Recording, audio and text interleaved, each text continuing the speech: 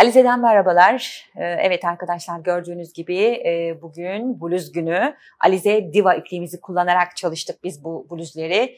Ee, Bildiğiniz gibi Alize e, Diva ipliğimizle e, her mevsim giyilebilen ürünler örebiliyoruz. E, Şiş ve tığ örgüsüne çok uygun bir iplik. Böyle parlak ipeksi dokusu da e, bu bluzlere de çok yakıştı ve e, kullandığımız teknik de ipliğimize çok yakıştı. Üç yumak kullandık arkadaşlar. Üç yumak ile böyle e, uzun kollu e, bir bluzu örebileceksiniz. E, yine tabii içerisine e, kolsuz badilerle e, daha sıcak aylarda, yine içerisine gömleklerle ve uzun kollarla daha kış aylarında da rahatlıkla giyebileceğinizi umuyoruz. Evet, şimdi e, örneğimizi çalışalım. E, zaten burada sizlere anlatmamız gereken şey örnek. E, düşük kollu, kol kesimi falan yok. Yaka kesimi yok. Böyle kayık yaka, dümdüz. Çok kolay. E, umarız beğenirsiniz. Hemen teknik bölüme geçelim ve anlatalım arkadaşlar. E, örneği Alize Diva ipliğimize çok yakıştı. E, çalışma bittikten sonra da buharlı ütüyle böyle hafif basarak e, ürünümüzü ütülemeliyiz arkadaşlar. Şimdi sizlere ilmek sayısını ve şiş numarasını söyleyeyim. E, 4 numaralı şiş kullanıyoruz. Önde ve arkada arkadaşlar 120 ilmek başlıyoruz. Önde ve arkada bluzumuze 120 ilmek ile başlıyoruz. E, kol içinde 80 ilmek kullanıyoruz. 80 ilmek ile de e, kolu başlıyoruz. Bluzumuzun ön parçası için 13 tane tam örnek kuruyoruz. Yani şöyle 1, 2, 3, 4 böyle sayarak 13 tam örnek olacak. İki yana da yarım örnek kuruyoruz. Sonra e, yer değiştiriyoruz örnekleri. Söyleyeceğim şimdi kaç sıra sonra olduğunu. Örnekleri kaydırıyoruz. Yine yer değiştiriyoruz, yine kaydırıyoruz. E, kol içinde arkadaşlar e, 8 tane örnek kuruyoruz. Yanlarda yine 2 tane yarımımız var. Şimdi hemen başlayalım. 4 numara şişledim. Burada 120 ilmek sizler ön için ilmek atmalısınız arkadaşlar. Şimdi ben 28 ilmek üzerinden sizlere örneği anlatacağım. Sizler 120 ilmek başlamalısınız arkadaşlar. Şimdi iki sıra bu şekilde haroşa örüyoruz. Yani e, 4 kere gidip geliyoruz. 2 diş haroşamız olacak. Evet arkadaşlar şimdi 120 ilmek e, üzerinden siz 2 diş haroşa sırasını ördünüz. Başlıyorum örneğe. 2 ilmek düz örerek devam ediyorum. Bir kez doluyorum arkadaşlar. Şimdi iki ilmeği birlikte alıyorum. Şöyle iki ilmeği birlikte aldım. Şimdi örneğin yarısını kuruyoruz yan tarafa. İki ilmeği birlikte aldım. Şimdi iki ilmeği düz örüyorum. İki kere şişe doladım. Yine iki ilmeği düz ördüm.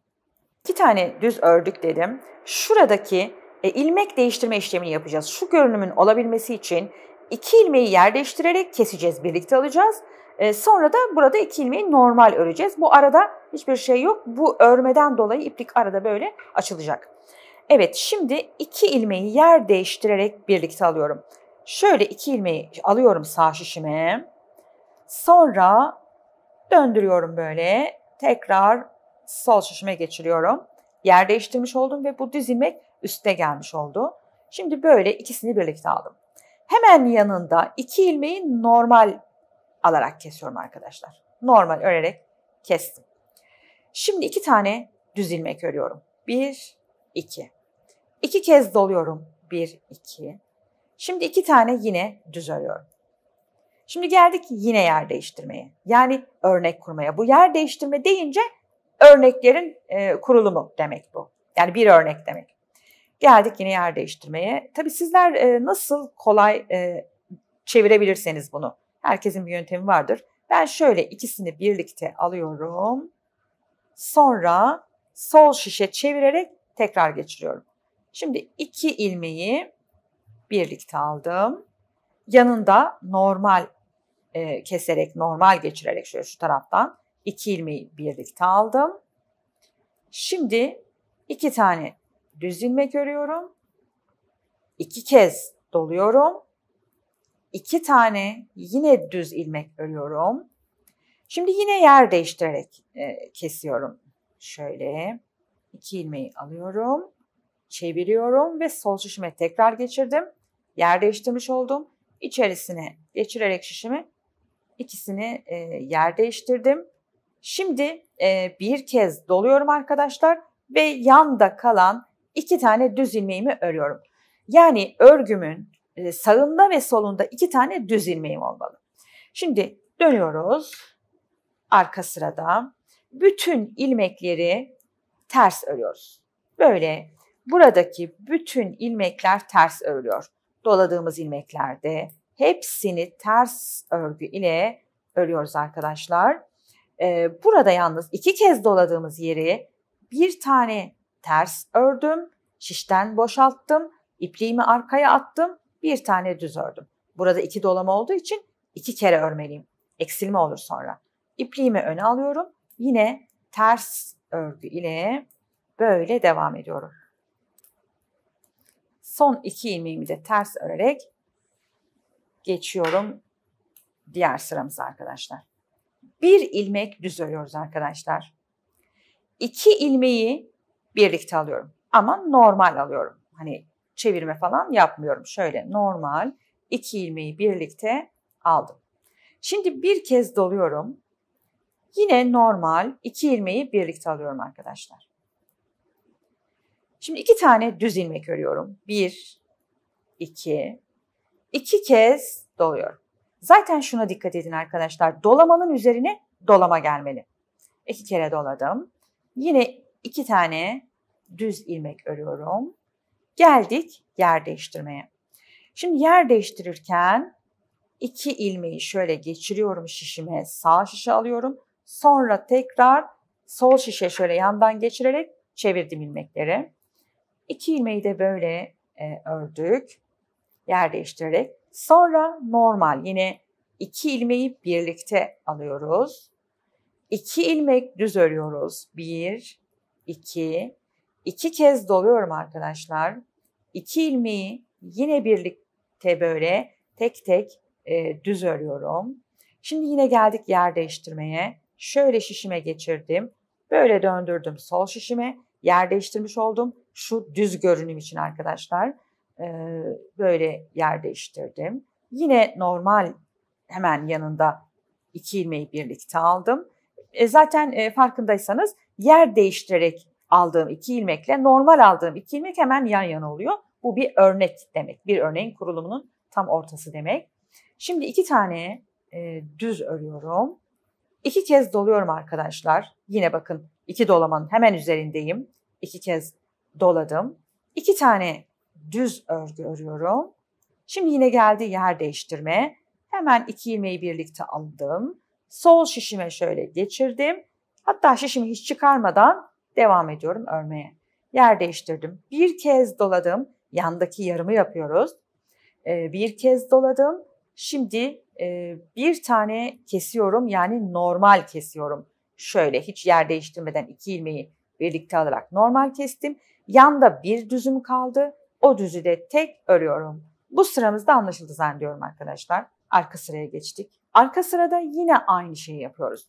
Bütün ilmekleri ters örüyoruz ama iki kez doladığım ilmekleri e, burada bir tane ters ilmeği boşaltıyorum, ipliği arkaya atıyorum, bir tane düz örüyorum.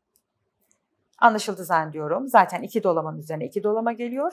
Böyle devam ediyorum. Bütün ilmekler ters örülecek arkadaşlar. Şimdi arkadaşlar şöyle örneğimizi incelediğimizde iki yanda yarım örnekleri görüyoruz ve ortada da iki tane tam örneğimiz var.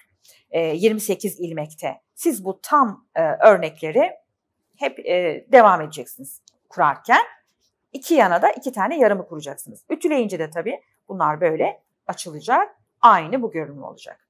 Şimdi e, ne kadar örüyoruz? Kaç sıra örüyoruz? Bakalım aralıklarımızda 1, 2, 3, 4, 5. 5 tane şöyle e, orta aralığımız olunca biz artık örneği kaydırıyoruz arkadaşlar. Şöyle bakın örnek buradayken buraya kayıyor. Yani şu e, ajurlar.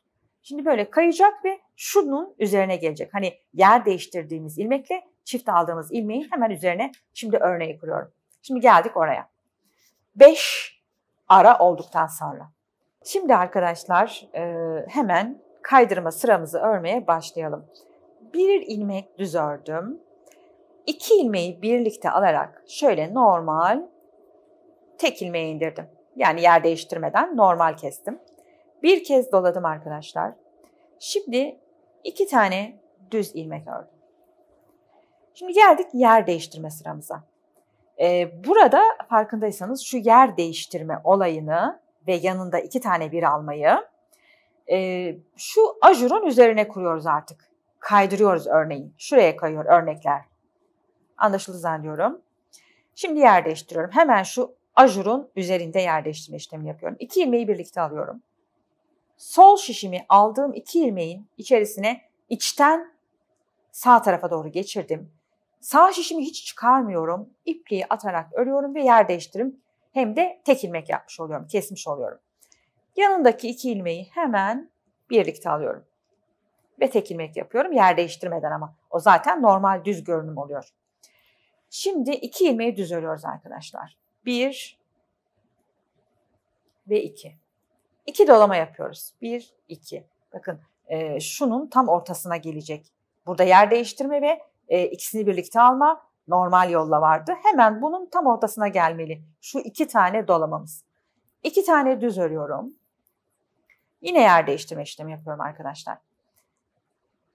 Şöyle iki ilmeğimi birlikte aldım. Çıkardım sağ şişime, sol şişimi içine geçirdim. Sağ şişimi hiç çıkarmadan böyle örüyorum. Çok kolay aslında eliniz alışınca. Ee, evet yer değiştirdim. Şimdi iki ilmeği normal aldım. İki ilmek düz ördüm. İki kez dolama yaptım. Tam ortaya gelecek şuraya. Yine iki tane düz ördüm. Yine yer değiştiriyorum. İki ilmeği birlikte aldım. Sağ şişime döndürdüm. Geçirdim. Şişimi hiç çıkarmadım. İki ilmeği yer değiştirerek kesmiş oldum. Şimdi e, normal kesiyorum. İki tane düz ilmek örüyorum. Bir, iki. Bir kez doluyorum. E, ikisini birlikte normal kesiyorum ve bir tane düz örüyorum. Şimdi örneğimi e, kaydırmış olduğum. E, tabii ne olacak? E, yarımın üzerine böyle tam gelecek şuralarda. Şimdi bu işlemi yine arkada aynı arkadaşlar. Biraz önce gösterdiğim gibi örüyoruz. Her ilmek ters örülecek ama iki doladıklarım bir ters bir düz örülecek. E, bunu da yine aynı 5 ajur aralığı öreceğiz. Ondan sonra yine kaydırma işlemi yapacağız. Aynı ilk baştaki sıraya döneceğiz. Şöyle göstermek istiyorum şimdi ne yaptığımızı. Yarımlarla başladık. Yarım, yarım, ortada iki örnek. Sonra 5 tane aralık yaptıktan sonra 5 ajur aralığı örneği kaydırdık. Ajurun üzerine örneği getirdik. Bakın 3 tane örneğimiz oldu. Yanlarda yarımımız olmadı. Bu ikinci bölümde yanlarda yarımımız olmuyor. Sonra tekrar buraya dönüyoruz. Şimdi tekrar e, örgümüzün arkasından ters örerek geleceğiz. Yine şu kurulumu yapacağız. Yani üçüncüyü şurayı burayı yapacağız ama e, bu üçüncü kurulum aynı birinci kurulumun aynısı. Aynı birinci gibi kuracağız arkadaşlar. Dönüşümlü olarak böyle birinci, ikinci, birinci, ikinci. Şöyle arkadaşlar e, bir, iki, üç, dört, beş, altı, yedi, sekiz, dokuz, 10, 11, 12, 13, 14, 15. 15 örnek dümdüz örüyoruz. Hiç kollarda kesme falan hiçbir şey yok. Dümdüz örüyoruz ve şöyle bitiriyoruz. Ee, burada istediğiniz kadar yaka açıklığını bırakabilirsiniz dikerken. Bu hiç önemli değil. Kendinize göre omuzlardan dikiyoruz. İki parça aynı şekilde örülüyor ve omuzlardan dikiliyor. Evet sonra kol için arkadaşlar 8 tam örnek kuruyorduk. Yanlarda da yine iki yarımla başlıyorduk. E, kolda da yine aynı şekilde kendi kolunuza göre ölçmelisiniz tabii. Ütüyle biraz açılır ve uzar e, bu iplik. 1, 2, 3, 4, 5, 6, 7, 8, 9, 10, 11, 12 kolunuza göre 10, 11 size olabilir belki. E, böyle buraya dümdüz dikiyoruz arkadaşlar. E, anlaşıldı zannediyorum zaten e, düşük kol. E, umarız beğenmişsinizdir. Sizlere keyifli örgüler diliyoruz. Hoşçakalın.